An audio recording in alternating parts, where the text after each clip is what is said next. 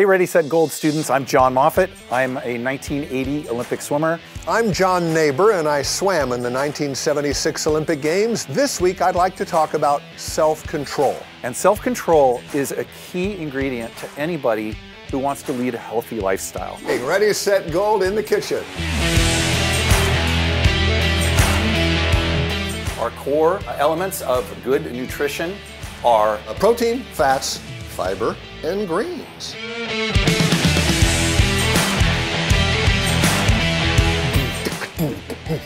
not that kind of wrap.